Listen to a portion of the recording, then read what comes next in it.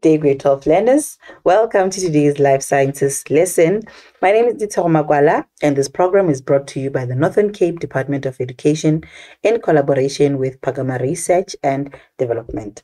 So, in today's lesson, we are still looking at our paper one revision, and we are looking at uh, part 10, which is our last part. Right. So, one last reminder of your paper one content, the topics that will be in your paper one examination, as well as the mark allocation so that you know exactly how much you are preparing for. Right. So, firstly, we have reproduction in vertebrates for eight marks, human reproduction, 41 marks, responding to the environment in humans, 54 marks, and then 13 marks for responding to the environment in plants and lastly, we have human endocrine and homeostasis, which is 34 marks. Right, so by the end of our lesson, you should be able to describe the human how the human ear functions to maintain balance. So we're going to be looking at the receptors that are involved in balance. We're going to look at the stimuli that are also involved in maintaining uh, balance of the body through the ears. Right. And then describe the functioning of the oval window, you are going to look at how the oval window works and so so that you can understand what would happen if it, it is damaged and so on right? Next you should be able to describe the role of auxins in phototropism. You should also be able to describe the structure and functioning of the human eye. So when you're looking at things like the human ear the human eye you should make sure that you know how to label each and every part of the human ear or the human eye, right? Be able to label those parts, be able to know their functions. As you know their functions and you know you know how to identify those parts, it means that you are building up on your knowledge whereby you can describe uh, or you can answer questions whereby you are asked to give the structural adaptations of certain parts, right? Whereby when you're giving the structural adaptations, you must give the description of how it looks or its structure and how that structure allows it to perform its function, right? For example, when you're talking about the semicircular canals and how they are found in three different planes, you will then be able to talk about the fact that when that happens, you are able to receive stimuli from different directions, right? Okay, with the human eye as well, if you know the different uh, parts and how they, fu- they function, you will then be able to know how they are involved in processes such as um, pupillary mechanism, processes such as accommodation, and you can also understand better how to look at certain uh, visual defects such as long-sightedness, short-sightedness, and so on, right? Okay, and then you should also be able to describe the homeostatic control of salt levels in the blood. So we're going to look at the hormone that is responsible for this. We're going to look at the part that secretes this hormone and how the hormone functions to make sure that these salt levels remain um, constant. Right. Okay, let's have a look at our first question. There it is question 3.1, which is the structure of the human ear. Right. Before you get into any anything, just be able to label these parts, right? So we can see here we have A, which is the round window, B, which is the oval window, C, which is the semicircular canals, E, which is the auditory nerve, and then D, which is the cochlea. Right. Now let's move on to the questions. It says here, the diagram below shows the part of the human ear. And then the first question, identifying the parts you've already identified it, means that you simply go back and say that part D is the cochlea. Right. And then 3.1.2, it says state one function of part E. Let's have a look at part E. Part E is the auditory nerve. So remember, when stimuli reach the um, organ of Corti in the cochlea, the organ of Corti will convert the stimulus into an impulse. Now, that stimulus that has been converted into an impulse, now the impulse is going to be transmitted by the auditory nerve to the brain, right? So it transmits impulses to the brain. Okay, and then 3.1.3 it says state why part A absorbs the excess pressure waves. So remember, when we are looking at um, the inner ear, we know that within the inner ear, the vibration of the tympanic membrane is going to cause uh, pressure waves, right? So if there are any excess pressure waves, these excess pressure waves are going to be absorbed by the round window, which is part A. So this is to make sure that um, there is no echoing, right? So the round window absorbs excess pressure waves in order to avoid echoes. Okay, 3.1.4. Describe how the structures indicated by C maintain balance. So let's have a look at C. That is the semicircular canals. So how do the semicircular canals work in maintaining balance? Remember, you would talk about um, the stimulus, the type of stimulus. You would talk about the types of receptors that are stimulated.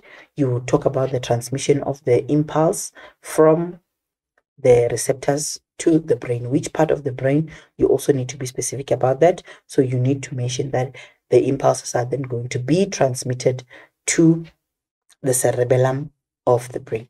Do not confuse the cerebrum with the cerebellum. Here we are looking at the cerebellum.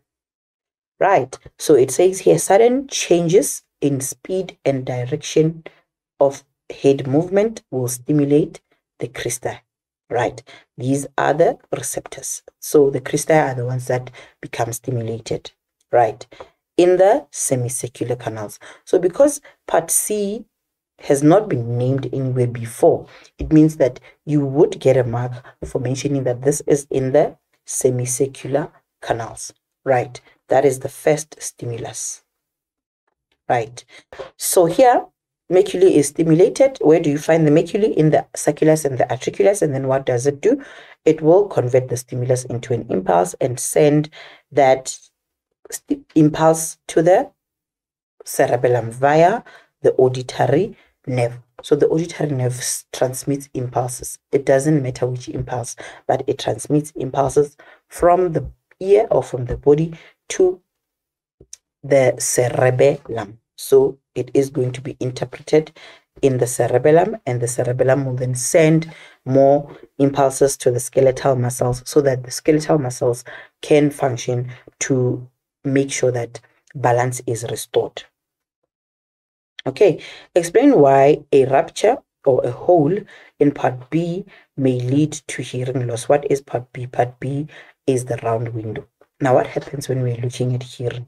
What is the sequence of events? Remember, the pinna will trap the sound. The sound will go through the auditory canal. From the auditory canal, the sound waves will cause the tympanic membrane to vibrate.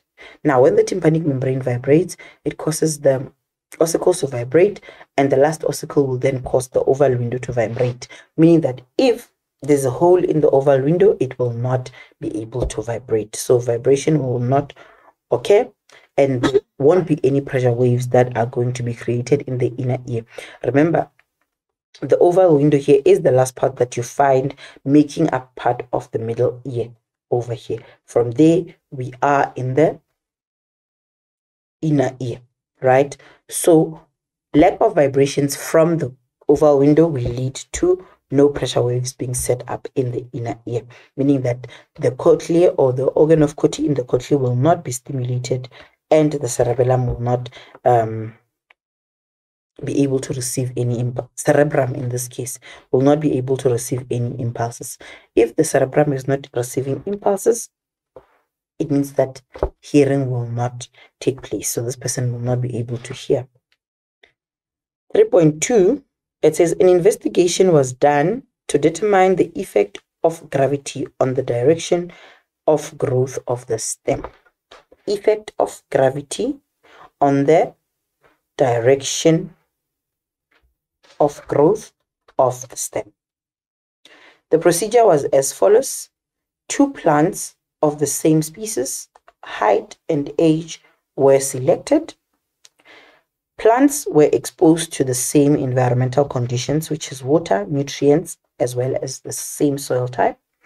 Both plants were attached to a clinostat as shown in the diagram. They were then exposed to light from all directions. The experiments were set up as shown in the diagram below. Right, so there we have it. The clinostat is rotating. This is diagram 1 and this is diagram 2. All right, so our first question, 3.2.1, it says suggest one reason why it is important for the stem of the plant to grow towards light. So we know that as the plant is going growing towards light, it means that the leaves are going to be receiving light and as that happens photosynthesis will then be able to take place so it is important so that the plant can receive sunlight for the process of photosynthesis. Okay. 3.2.2 what is the term given to the growth movement of a part of a plant in response to gravity? Whenever we are looking at gravity, we are looking at geotropism. So that is referred to as geotropism. Okay, 3.2.3, state the purpose of rotating the clinostat in diagram 1 during the investigation. So you will see that there is an indication that there is rotation in the diagram, in the first diagram. Right, now let's have a look at the answer there. So the question said, what is the purpose of rotating that uh, clinostat in diagram 1 during the investigation?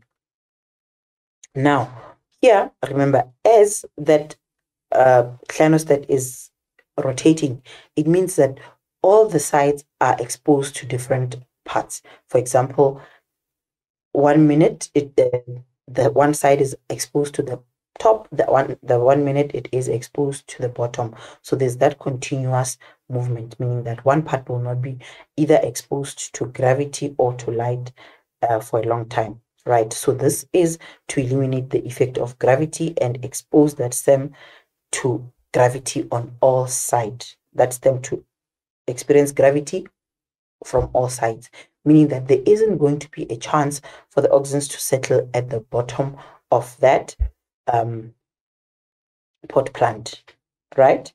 Okay. And then let's have a look at 3.2.4. It says explain the results that will be obtained after two weeks in diagram 2. Now let's have a look at one more look at diagram 2. The clinostat is not rotating in this case. The clinostat is found in one place, right?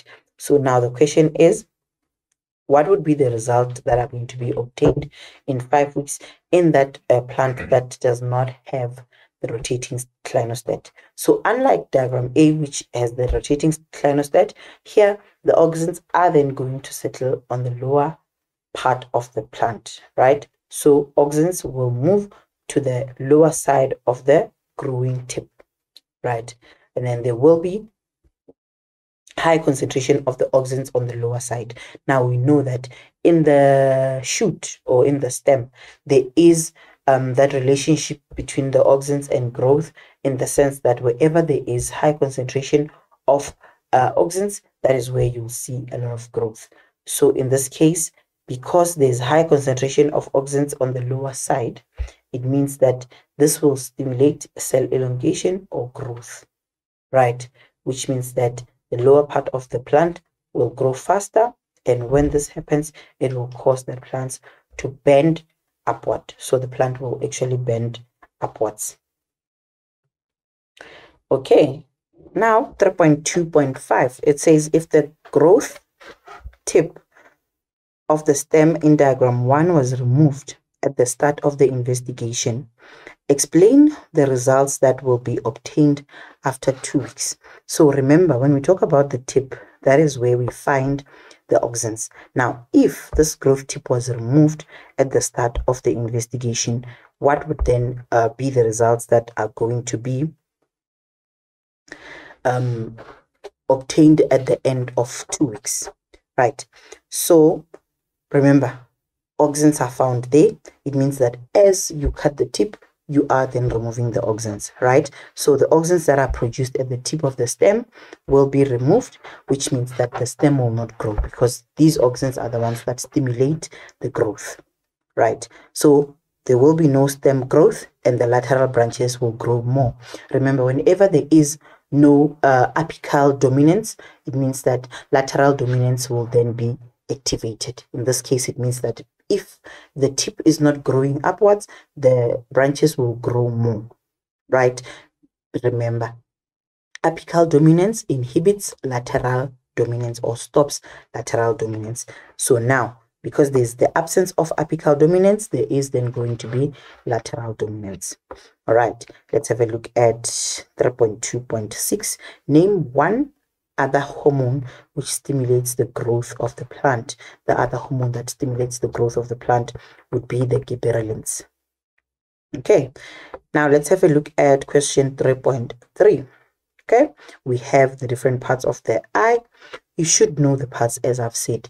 Know how to label these parts before you can even um, learn a whole lot of these other things. Just know these parts right? So the diagram below represents the structure of the human eye right? 3.3.1 it says identify part b.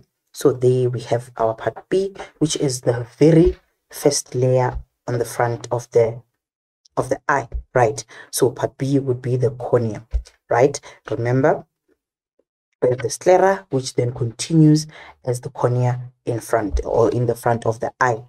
3.3.2 Describe the functioning of part D when a person is in dim light. Now, when you hear dim light, it means that we are talking about pupillary mechanism. Now, which parts are involved in pupillary mechanism?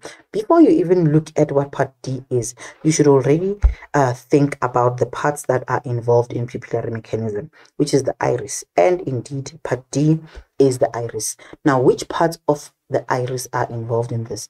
When you learn about pupillary mechanism, you talk about um, the circular muscles, as well as the radial muscles. These are the muscles that are involved in pupillary mechanism.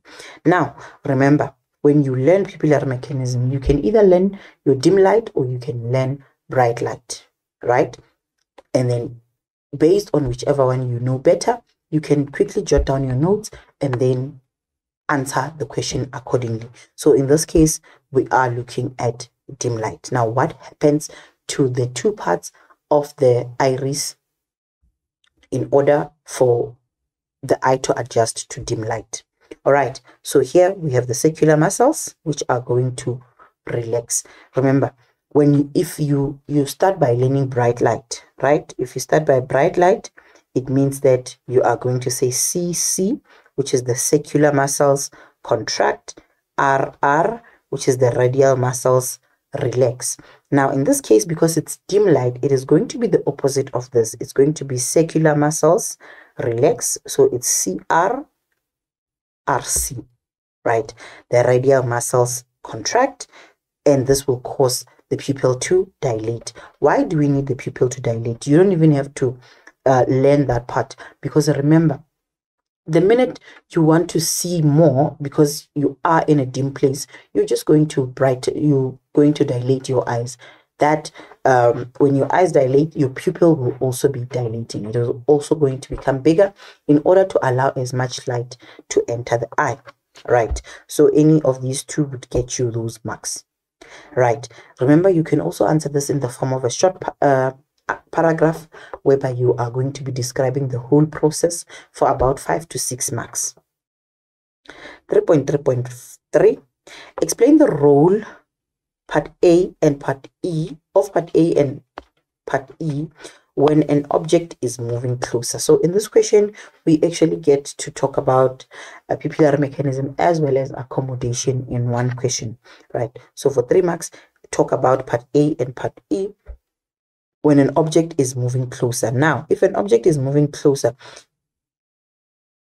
it means that we are looking at near vision right? If an object is moving away from you, we are looking at distant vision. So here, the role of part A as well as part E, which are the suspensory ligament at E, and they said also part A, which are the ciliary muscles, right? So we're looking at the ciliary muscles as well as the, sus uh, the suspensory ligaments. How do these two parts function or what role do they play in near vision during accommodation, right? So here, remember, the first thing that you're going to talk about is that part A, which is the circular ciliary muscles, will contract, right? So the ciliary muscles contract.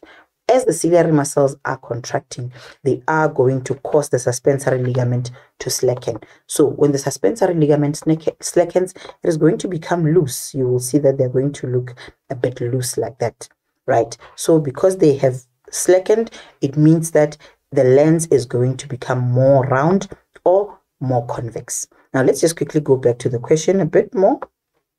It says the role of part A and part E.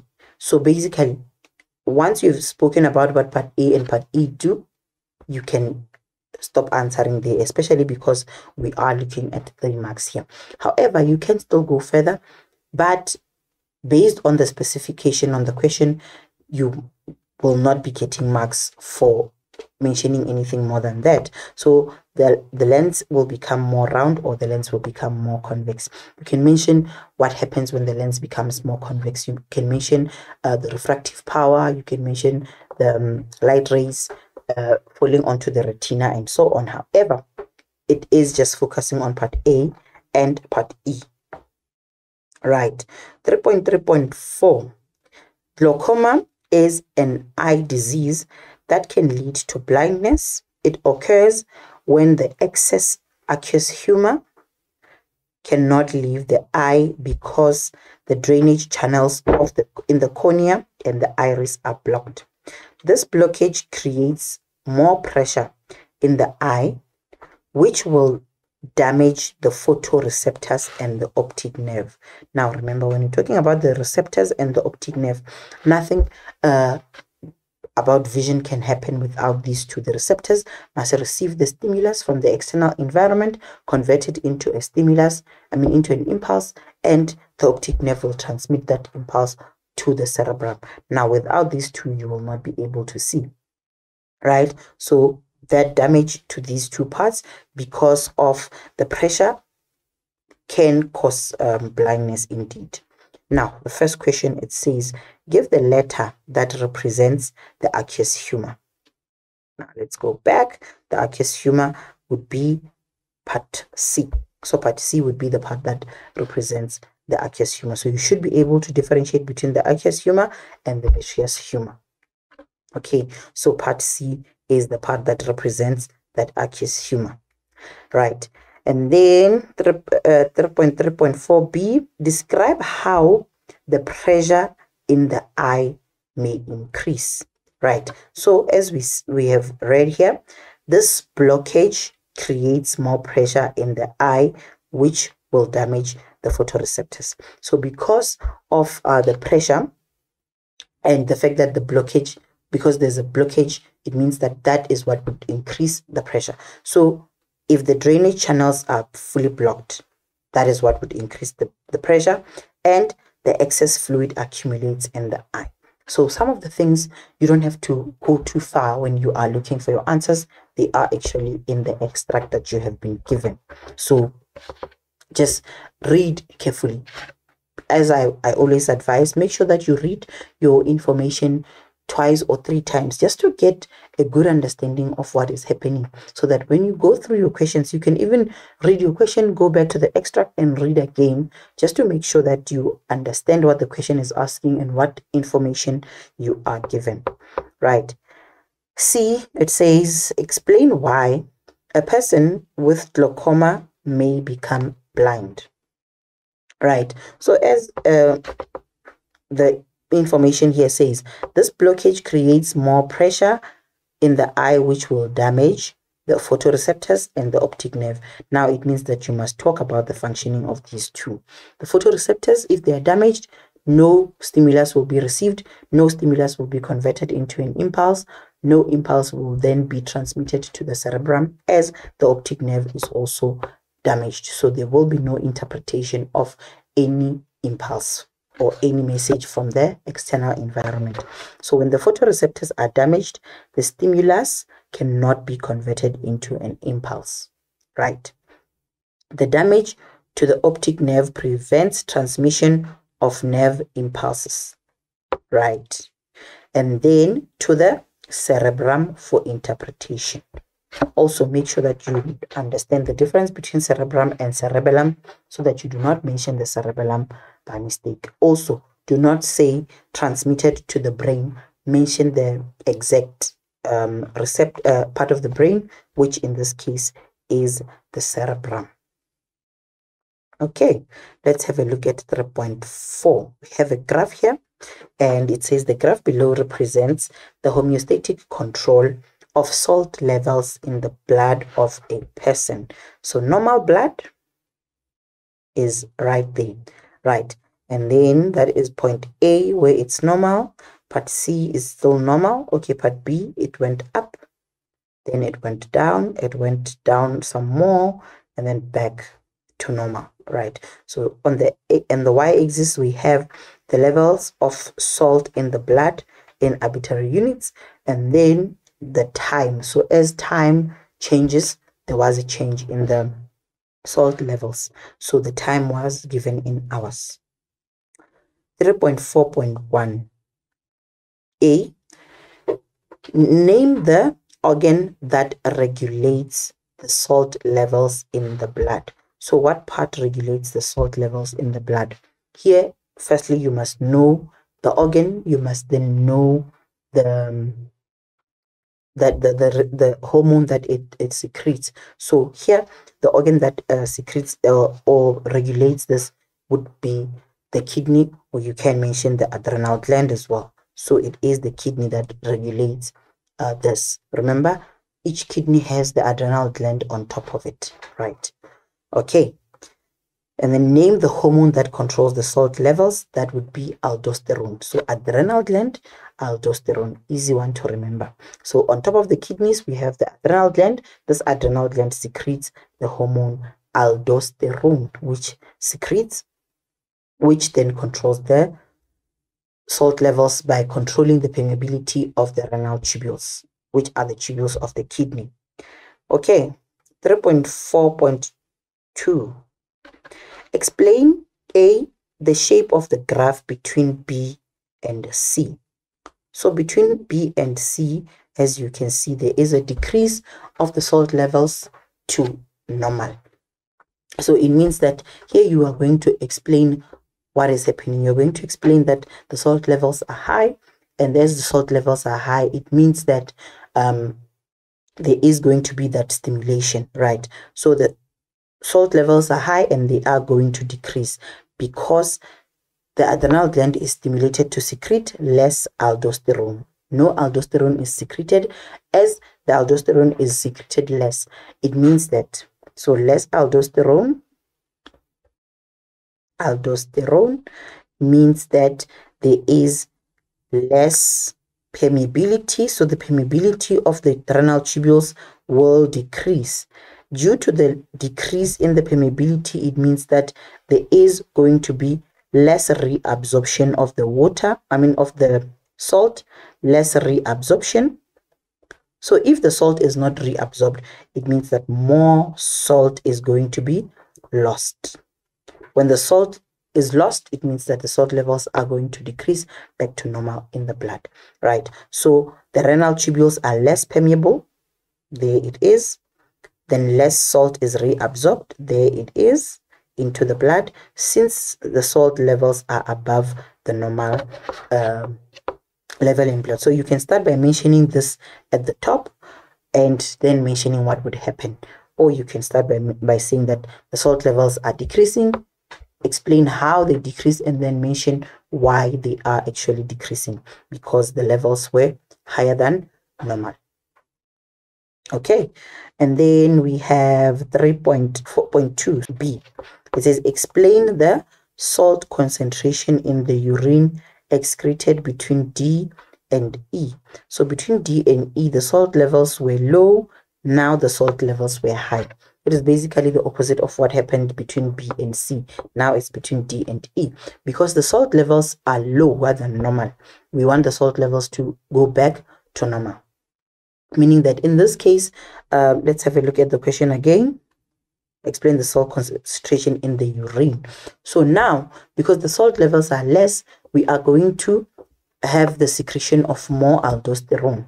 More aldosterone will cause the permeability of the tubules to increase, then more salt is going to be reabsorbed. As more salt is reabsorbed, it means that the urine that we are going to see in this case is going to be dilute urine because it does not have a lot of urine. So it has more water, therefore the urine is dilute.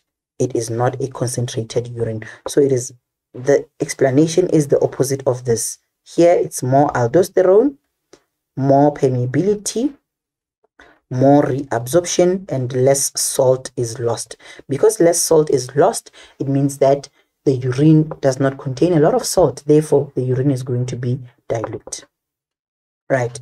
Okay. So there will be less salt in the urine. The urine is dilute because the renal tubules are more permeable to salt. More salt is going to be reabsorbed into the blood since the salt levels were below normal in the blood. Right. So here the main thing is to understand what would be the functioning of the different uh, hormones which part is stimulated and as the hormones are secreted what effect are they going to have? You cannot say there will be less salt in the urine since the salt levels were below normal for four marks. You must explain why is there less salt? What is the reason that we have less salt? And you will say that this is because the renal tubules are more permeable. The permeability of the tubules have increased. You can also mention why the permeability has increased. Permeability has increased because of the increased secretion of the aldosterone hormone. Right? And then you can then say more salt is reabsorbed into the blood since the salt levels were below normal in the blood. Right. Okay, let's have a look at the homework. The diagram below represents two types of neurons. We have um, neuron 1 here, and then we have neuron 2 over here. As you're looking at these neurons, you should be able to differentiate them. You should be able to look at them and say, this is the motor neuron, and look at the other one and say, this is the sensory neuron. How do you differentiate them? You differentiate them with the cell body, which is part C. All right. And then you should then also be able to know where do you find the dendrites, where do you find the axon. You should also then know the direction of transmission of the impulses. Do the impulses go from the dendrites to the axon terminals or do they go from the axon terminals to the dendrites, right? Now, that is when you can be able to answer the questions. Diagram A, diagram 1 and diagram 2, you will have to differentiate those. And then part C, you should also be able to give part C. And then know the parts, give the letter and the name. Now, for you to know the letter and the name, you should know what B is, you should know what D is, you should know what A is. When you know that, it means that you can then be able to give the letter and the name of the part that provides electrical insulation. You can know that this is the part that provides electrical insulation. But if you do not know the name, it means that you will then lose the mark for naming. So know the parts, know the functions right? And then the part that receives incoming impulses, you should know which part is responsible for receiving impulses. 1.5.4 it says which neuron between neuron 1 and 2 transmits impulses to the central nervous system. So is it the motor neuron or is it the sensory neuron that transmits impulses to the brain or to the central nervous system?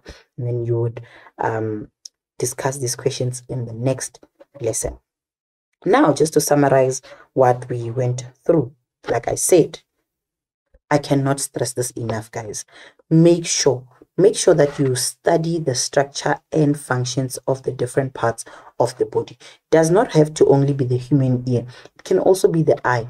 know those parts of the eye because like i said with the eye this involves um accommodation and it also involves uh, pupillary mechanism and it also inv- involves all those uh, visual defects so make sure that you go through all of that right and then this uh, also that is important know the specific part of the central nervous system that is involved in balance which is the cerebellum here be sure to be able to differentiate between the cerebellum and the cerebrum or the type of impulses that the cerebrum receives and that the cerebellum receives. Remember, the cerebellum for balance, cerebrum for all sensations. Right. Same applies to the eye. I mean, to the ear here. Balance, know the receptor that is responsible for this. But with balance, remember, we have two receptors and we have two types of stimuli. Know that change in direction of the direction and speed stimulates the crista, change in position of the head changes, I mean, stimulates the maculae. Also know where they are situated. Not just to know the name, but also to be able to point at that part and say, this is where there's the sacculus and the utriculus, and this is where it, it there is the semicircular canals. Secondly, know which glands are responsible for regulation of salt in the blood not only for salt, it can also be for water, it can also be for glucose, it can also be pH regulation, carbon dioxide regulation. Know all of them. Know the glands, know the hormone that these glands secrete. Right? Remember how the hormone, in this case, the hormone aldosterone, affects the permeability of the renal tubules. Remember, aldosterone, when it is high, the permeability will also be high a lot is going to be high here. So you can even remember it like this. It is the salt. So is the salt high or low according to the question, right? And then what what what what is going to be secreted? The aldosterone, right? Aldosterone is the aldosterone low or high, right? And then the aldosterone affects the permeability. I'm putting question marks so that Based on this, you are going to be answering the questions. Aldosterone affects permeability, permeability. What does permeability affect? It affects the reabsorption. And then the loss of water. How much water is lost now? Um, we are not looking at water here. We are looking at salt, the loss of salt. Right. So here is the salt levels high. Yes, salt levels are high. Then if the salt levels are high, everything else after that is going to be low.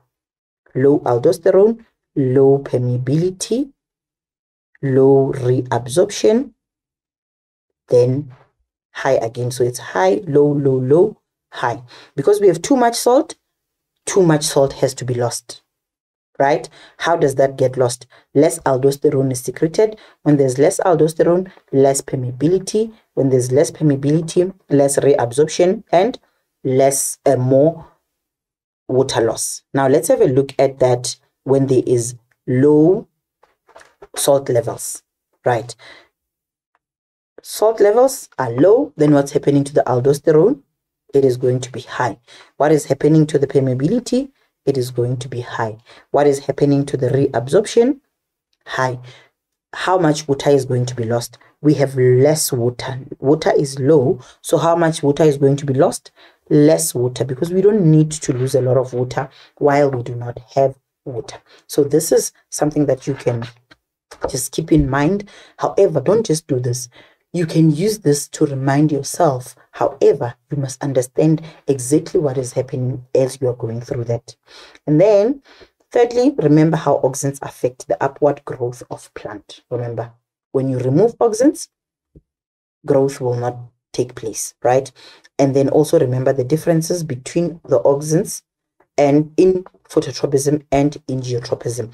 What I mean here is in phototropism, High auxins stimulate growth. In geotropism, high auxins do not stimulate growth. They inhibit growth, especially in the root, especially when the plant is bending, the auxins are not going to be evenly distributed, right? So if the auxins here, due to light, they are on one side, growth will take place on that one side. Geotropism, if due to gravity, the auxins are on the lower side, then there won't be any growth on the lower side. There's going to be more growth on the upper side, causing the plant to grow and bend downwards. So just remember that. Also remember that uh, stems are positively phototropic and negatively geotropic. Roots are positively geotropic and negatively phototropic. Right. And then lastly, know the structure and functions of the different parts of the human eye. I think we mentioned that when we mentioned the human ear. This applies to any other part that you might deal with. This can be the female reproductive system, it can be the male reproductive system, the sperm cell, and so on. Know all of those parts, know their difference, and I promise you, it will be so much easier to associate those parts and their functions with most of the questions that you are being asked whereby we're looking at cause and effect questions. What would happen if this part is damaged? Because you know the function of the part it means that because it is damaged it'll it won't be able to perform that function anymore. Therefore that is what you would then say all right. So in our next lesson we are going to be looking at the eastern cape paper 2 prelim 2022 we're going to look at the first part of our section b which is question 2 again just a reminder of your question paper structure. Remember in section a we have a, uh, the whole paper has 150 marks. Section A is the first 50 marks, right? Section A has your multiple choice, your matching column, as well as the biological terms, as well as a few short questions, right? And then section B, it's question two and question three. Question two, 50 marks. Question three, another 50 marks. Right. Okay. We have come to the end of our lesson for today. Thank you for watching. I will see you next time. Goodbye.